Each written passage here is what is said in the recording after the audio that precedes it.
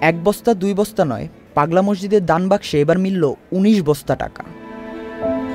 এর আগে যখন দান বাক্স খোলা হয়েছিল, তখন পাওয়া গিয়েছিল চার কোটি আঠেরো লাখ ষোলো হাজার সাতশো চৌচল্লিশ টাকা এবং বৈদেশিক মুদ্রা ও স্বর্ণালঙ্কার। এ যেন এক উৎসবের আমেজ পুরো মসজিদ জুড়ে। বস্তা খুললেই বেরিয়ে আসছে কারি কারি টাকা। পুরো মসজিদে সবাই ব্যস্ত টাকা গণনার কাজে। আর ব্যস্ত হবেই বা না কেন? প্রতি তিন মাস পর পর পাগলা মসজিদ থাকে আলোচনার তুঙ্গে। এবারও তার ব্যতিক্রম হয়নি। এবার রমজানের কারণে চার মাস পর দান বাক্সগুলো খোলা হয়েছে।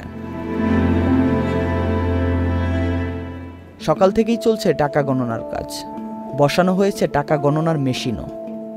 টাকা গণনার কাজে অংশ নিয়েছেন মসজিদ ব্যবস্থাপনা কমিটির সদস্য, মাদ্রাসা ও এতিমখানার শিক্ষক শিক্ষার্থীরা টাকার সাথে মিলছে বৈদেশিক মুদ্রা ও স্বর্ণালঙ্কারও।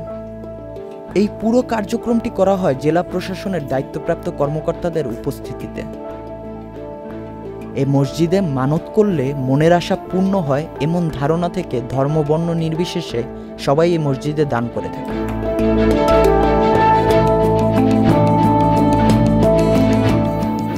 আমাদের চৌত্রিশ জন স্টাফ, ব্যাংকের ষাট জন, জেলা প্রশাসনের দশজন ম্যাজিস্ট্রেট, এডিএম, অতিরিক্ত জেলা ম্যাজিস্ট্রেট, অতিরিক্ত জেলা প্রশাসক সার্বিক সহ এখানে তত্ত্বাবধানে সকাল আটটা থেকে গণনার কাজ শুরু হয়েছে।